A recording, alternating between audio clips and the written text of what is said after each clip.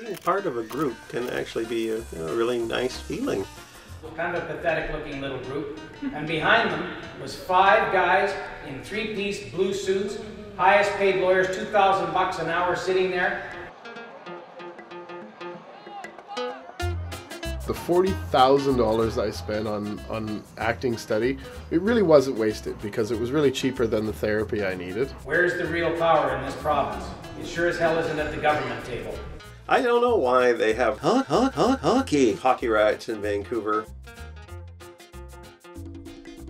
It's a sublimation for warfare. I don't know why it's accepted. I don't know why it's encouraged. I'm sure with the, the hockey riot, a lot of it had to do with beer.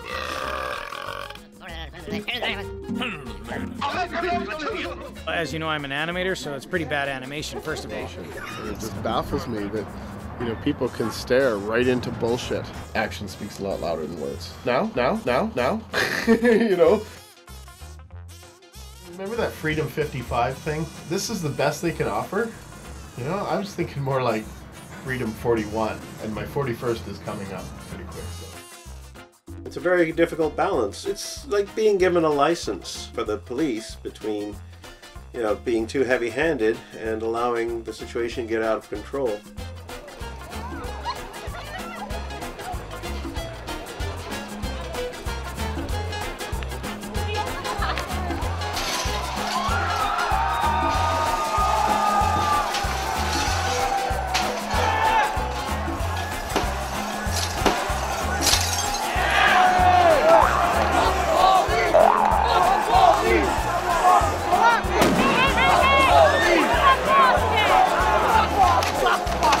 Multi-million dollar ad campaign with hundreds of thousands of dollars spent producing ads in Ontario.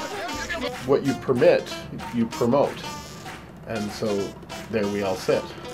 Go nuts. They didn't even create jobs for the campaign to advertise that it's going to create jobs. It's a joke. particularly smaller towns, are dependent on the local consumer. And businesses don't make jobs. That's a mistake the government makes time and again. Businesses don't make jobs. Consumers make jobs.